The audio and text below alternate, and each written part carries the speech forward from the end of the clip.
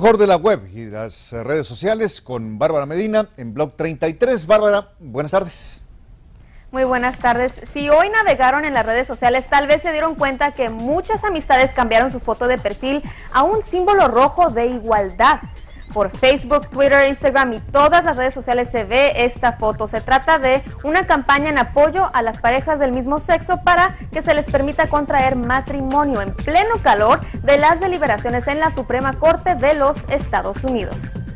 Y la presión por una reforma migratoria, migratoria ahora incluye a líderes de empresas importantes como Facebook, el fundador de Facebook, Mark Zuckerberg, jefes ejecutivos de eBay y Google habrían firmado una carta pidiendo una reforma más accesible para inmigrantes con altas capacidades.